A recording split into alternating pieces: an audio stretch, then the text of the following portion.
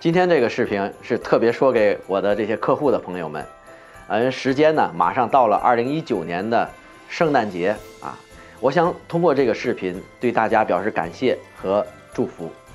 现在我们所在的城市呢是多伦多啊，大街小巷全都是圣诞节的颜色。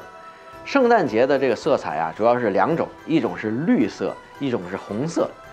红色代表着红红火火，那绿色呢代表着健康。代表着平安，代表着永恒，所以在这儿呢，我想通过这个视频对我的这些客户朋友说啊，希望大家拥有一个健康快乐的圣诞节，同时二零二零身体健康，一切顺利，明年见啊！谢谢大家。